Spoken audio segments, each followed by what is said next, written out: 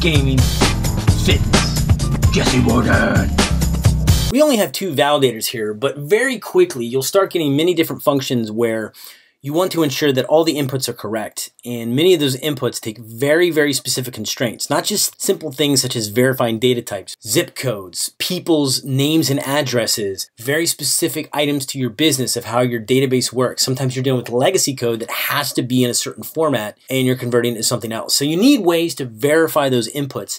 And if you fail, do everything in your power to explain exactly what you did wrong. And more verbosity is better. Running many validators is great because we can know exactly why that particular predicate failed. But returning true or false isn't always great if you have a ton of these. So we're going to use something called a checker. All it is is a wrapper around array.reduce. What we've done is added a new checker function here. And what it does is takes a list of validators. Again, a validator is just a function with an error code attached. That's all it is.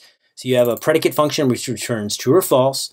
And if it returns false, you can see why it failed. That's up to you to supply why it failed. Is string that comes with Lodash, it doesn't tell you why it's not a string. It just says it's not. You have the opportunity to add metadata on why your functions, or in this case, your predicates are failing. Checkers know how to deal with predicates, specifically validators, which are predicates with errors attached. It'll loop through them and it'll reduce. All reduce says is say, Take all the predicates that you pass in. In our case, we're only going to pass in two. And if they return true, we're good. Just pass the errors back, and that's array. If you start with an empty array and everything passes, you're going to end up with an empty array. That means nothing went wrong. No errors were added. However, if your predicate function returns false, for example, if you're checking for a string and you pass in a number, it's going to return false, and you're going to go ahead and add why did that fail into that list of errors. If you only have one validator in here, you're going to get one error back in the array. If you have nine, and they're all looking for string-like properties and you pass in a number, you're probably going to get nine errors back in your array. This verbosity is helpful. However, you only have to have one function to actually handle it. Let's go ahead and apply that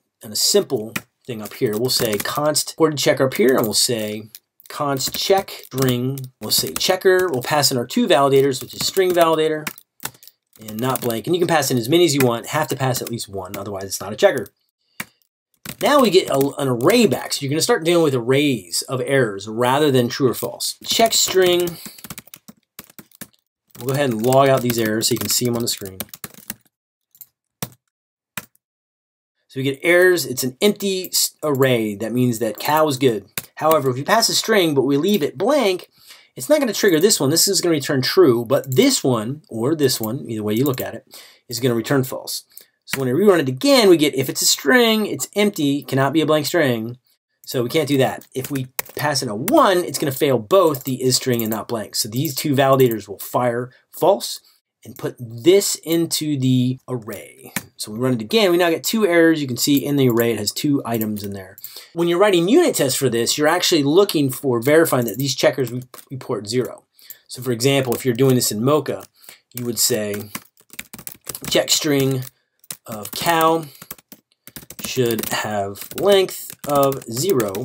However, check string empty string, you're not really concerned about exactly how many errors. You just know that it should have length above zero. So that way you can verify that this should trigger at least one error. In that case, the not blank error function. That is the basics of checkers, and this allows us to put many, many different validators to it. Tomorrow we'll take these checker functions, we'll build a bunch of them, and add them to the REST API over here that will validate this zip, as well as the parameters that are coming in on the request.